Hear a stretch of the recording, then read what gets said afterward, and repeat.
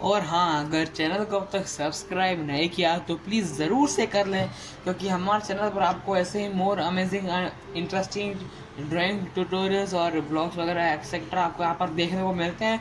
तो वीडियो को time waste ना करते हो डायरेक्ट फिर से स्टार्ट करते हैं।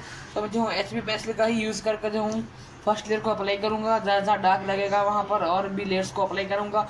करते करते वो ड्राइंग को जो है पूरा कंप्लीट कर देंगे। और हाँ फेस बाकी et cetera et cetera video को स्टार्ट करते हैं। तो देन सिंपली जो हूँ मैं यहाँ पर एच पी लेयर का यूज़ एच पी पेंसिल का यूज़ कर कर फ़र्स्ट लेयर को अप्लाई करना स्टार्ट करूँगा। तो नॉर्मल जो मैं पहले यहाँ का जो पोर्शन है, इसको कंप्लीट करूँगा क्लियर करने का ट्राई करूँगा। बट उससे पहले यहाँ से जो थोड़ा सा है पोर्शन कंप्लीट करेंगे, फिर हम उसको स्टार्ट करेंगे। देन यहाँ का पार्ट देन यहाँ का नीचे का लिप्स का पूरा कंप्लीट कर देंगे इस वीडियो के अंदर।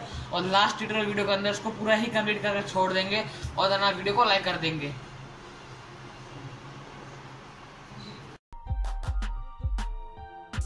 तो सिंपल यहाँ पर जो हूँ मैं एच का शेडिंग करना स्टार्ट किया। थोड़ा पेपर को नीडेड इरेजर से थोड़ा क्लीन किया और उसको ब्लेंडिंग करने के लिए जो मैं छोटे एरियाज़ में ब्रश का यूज़ कर रहा हूँ। और जहाँ पर बड़े एरियाज़ है फेस का चिन वगैरह हो गया।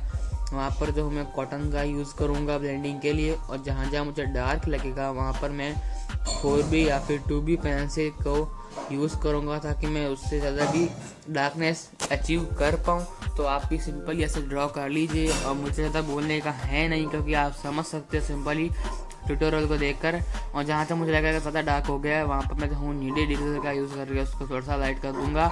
बाकी कुछ नहीं सिंपल सा बहुत ट्यूटोरियल है। और हाँ बाइक हाईलाइटिंग के लिए जो मैंने यहाँ पर स्केच इरेजर पेंसिल का यूज़ किया है।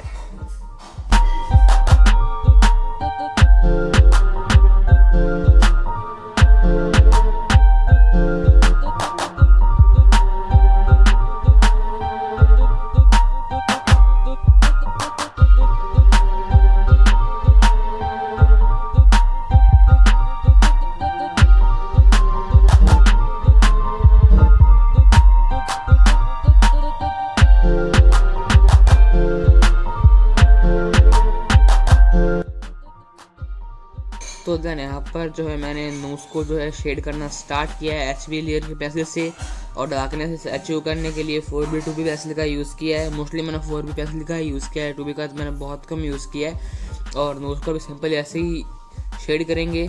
ब्रश और कॉटन के हेल्प लेकर उसको ब्लेंड करेंगे। जहाँ जहाँ हाईलाइटिंग होगी, वहाँ पर स्केच इरेजर पेंसिल का यूज़ करेंगे।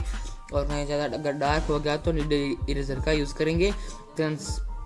दूसरी साइड का चेक भी हम इसे कंप्लीट कर देंगे इस वीडियो के अंदर।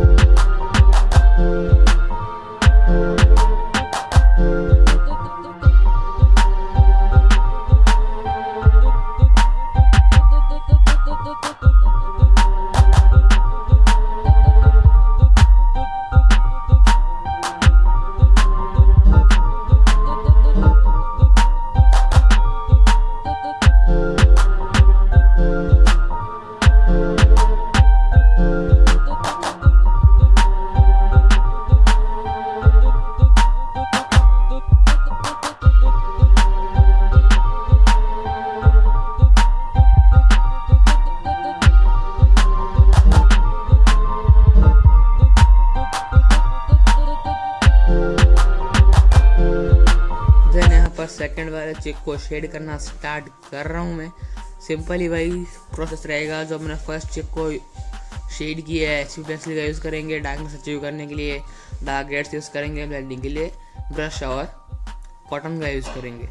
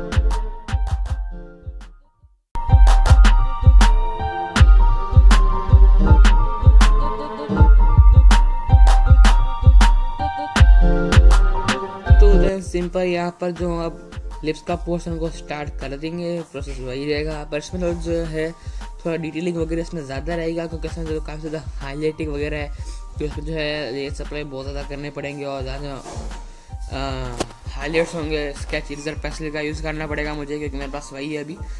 मोनो ज़ीरो इरेजर नहीं है, क्योंकि मैं उसका यूज़ नहीं करता हूँ। मुझे यही यही बेटर लगता है स्केच इरेजर पेंसिल आपके पास जो भी आप उससे ब्रांड कीजिए माफ़ कीजिएगा।